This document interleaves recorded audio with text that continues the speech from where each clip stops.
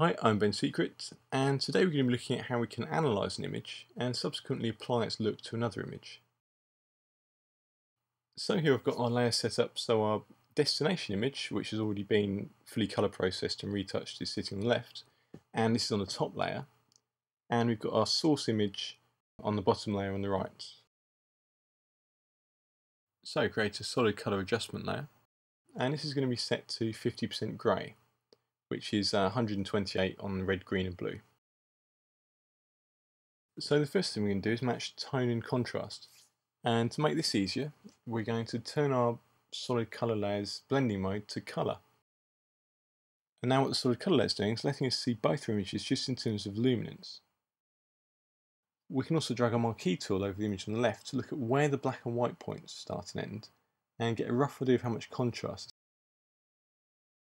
and we can do the same with the unretouched image, and you can see we've got a much broader tonal range. So the first thing to do is go down to our bottom layer again, and add the curves adjustment layer. And using our marquee tool again just to select the part of the image we want to analyse, and looking at the histogram, I can drag the black point up until it's about in line with the R on the word source, which is roughly where our other image's black point was. And then we can do the same with the white point just dragging that down.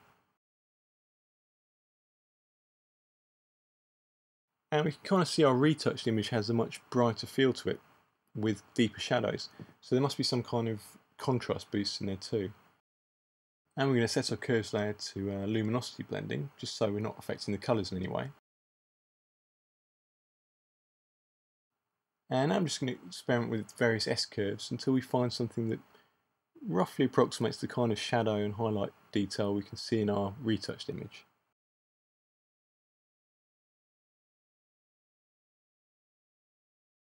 And now just toggling our solid colour layers visibility, we can see already we're quite a bit closer to the finished look.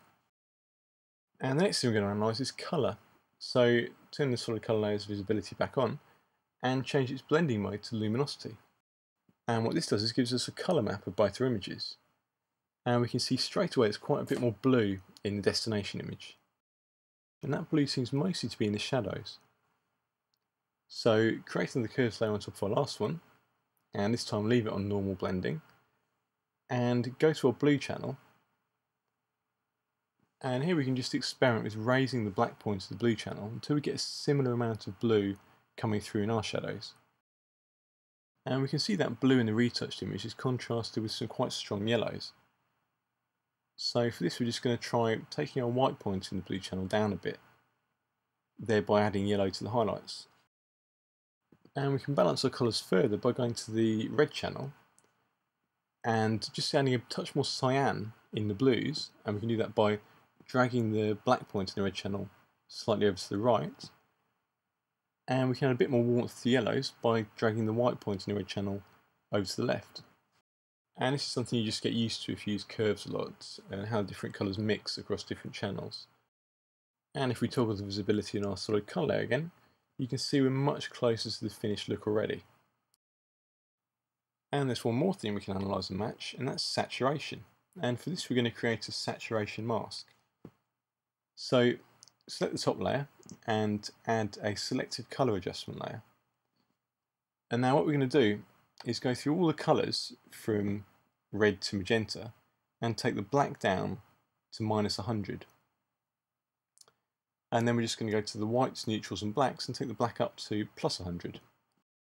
And this has to be done in absolute mode as opposed to relative mode.